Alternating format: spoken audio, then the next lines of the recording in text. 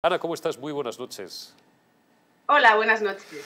Bueno, pues mira, nos has cogido hablando, bueno, hemos consumido la primera hora del programa hablando de, del, bueno, pues de, cómo esta ley eh, eh, del sí es sí y más de 30 violadores ya en la calle va a suponer sin duda la tumba política de Pedro Sánchez y ahora pues eh, hemos derivado también a, esa ley de bienestar animal que mañana tiene que pasar la prueba del Congreso.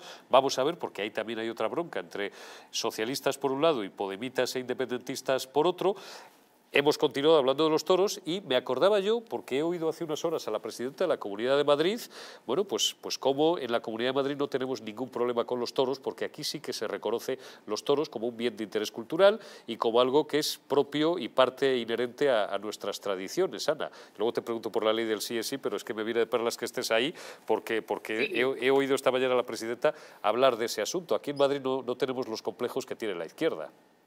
Bueno, por supuesto, ni aquí en Madrid ni en la mayoría de los ayuntamientos de la comunidad, aunque siempre hay algún alcalde que intenta descolgarse eh, con este tema porque lo consideran electoralista, como casi todo lo que hacen, lo hacen pensando en su extrema ideología y eso es lo que sucede cuando el grupo principal que da soporte a este gobierno, que forma parte del Consejo de Ministros, es un grupo de extrema izquierda, que se nos olvida recordarlo con más frecuencia para que la gente no lo pierda de vista. Es un grupo de extrema izquierda comunista entonces, no nos extrañemos luego de estas cosas, es lo que ha votado el, grupo, el número suficiente de españoles como para que estén ahí. Y estaría bien que lo hiciéramos porque ya que él figura para distraer la atención y embarrar cada vez más y cada día más el terreno de juego, siempre trata de recriminarle, y esta mañana lo hacía, lo veíamos hace un rato, una vez más, again and again and again, al Partido Popular que gobierna de la mano de oh, la extrema derecha y tal. y usted gobierna con terroristas y gobierna con independentistas y golpistas catalanes y gobierna pues con la extrema izquierda comunista que ya no mandan, salvo en Cuba y en Corea del Norte,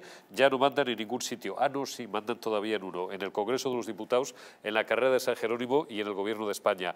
¿Tú crees, Ana, que esta, bueno, que este... Ojo, con el apoyo de Luis Pizarras, que es otra cosa que deberíamos recordar todos los días. Conecta, conecta, por eso digo, para, para mí es que yo, esta distinción que se hace a veces de los filoterroristas, los proetarras, no, no, es que la tercera parte, como nos recuerdan nuestros amigos del PP del País Vasco, la tercera parte de los diputados, por ejemplo, de la Cámara de Vitoria, han tenido problemas con la justicia, ahora han estado procesados o encarcelados por pertenencia a banda armada. Es decir, son, son ETA, Es ETA, el otro día alguien decía aquí en esta mesa, bueno, es que claro, habría que plantearse el debate de si Bildu y ETA son lo mismo. Digo, no, por favor. O sea, me da, porque este, este esta casilla ya la hemos superado hace 25 años o 30, aquello de si Herri Batasuna era ETA o no, o no era ETA. Oye, ¿tú crees que esto, por volver a la ley del sí es sí, que es el argumento principal, un día más, desgraciadamente, de la actualidad, eh, va a ser la tumba política de Sánchez? Hay 33 violadores ya en la calle y 448, nos recordaba antes Luis Pagar el dato, 448 sentencias revisadas. Bueno, eh, no es que vaya a ser la tumba política de Pedro Sánchez, no es que lo creamos nosotros, es que también lo creen ellos. Y esa es la única razón por la que han tomado la iniciativa de nuevo de reformar su propia ley, por más que ahora lo quieran vender como pequeños retoques técnicos. Es una reforma en toda regla, por cierto, copiada a una proposición de ley que presentó el Partido Popular en el mes de diciembre, copiada literalmente.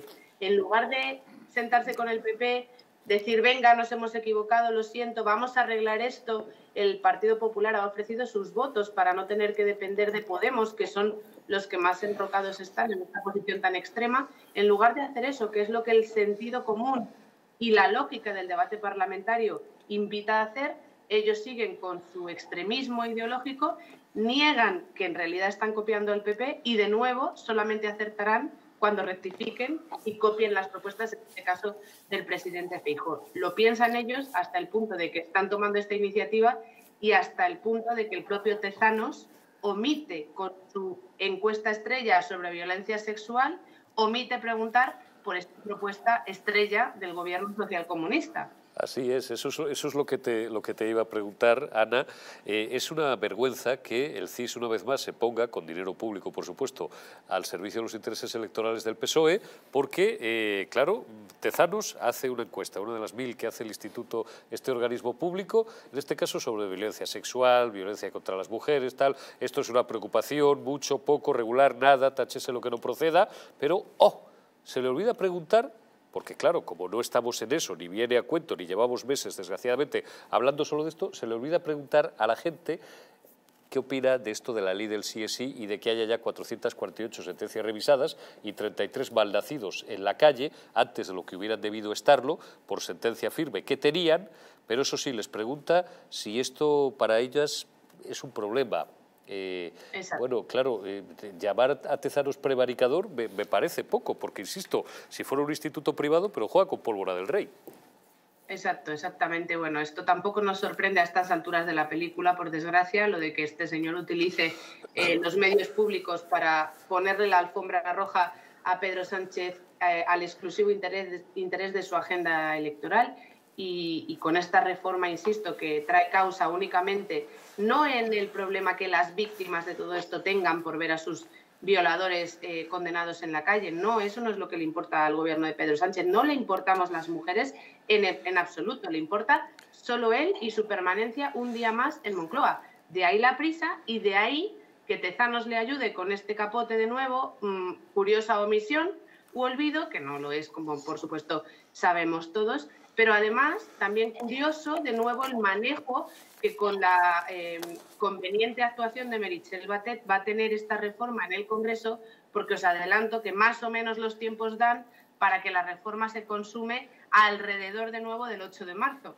Y entonces, de nuevo, ellos eh, se querrán vender a la opinión pública como los garantes de las mujeres a esas a las que han agraviado con semejante despropósito social, jurídico, penal con semejante despropósito que de verdad solamente hay una cosa que me produzca más bochorno que el hecho de que hayan aprobado esta ley eh, con este descaro. Y son las declaraciones absolutamente soberbias de Pachi López. Este señor, de verdad, que es que, que se vaya a su casa ya, que asuman responsabilidades políticas y dimitan, porque esto es de la gravedad suficiente como para que todos los ciudadanos exijamos dimisiones de la ministra Montero, a quien Sánchez no puede tocar, porque no la pone él, pero del resto del gobierno que aprobó esa ley y, ojo, del resto de grupos políticos que también la aprobaron, entre ellos Ciudadanos, que ahora se echan las manos a la cabeza, ¿eh? que no se nos olvide. Sí, ayer ya hicimos una referencia al, señor Val, qué lástima, quién les vio y quién les, y quién les ve. Y quién les ve. Ana, te agradezco muchísimo el que nos hayas dedicado estos, estos minutos. Cuídate mucho y hasta una próxima ocasión. Te pido un abrazo. Muchísimas gracias, buenas noches.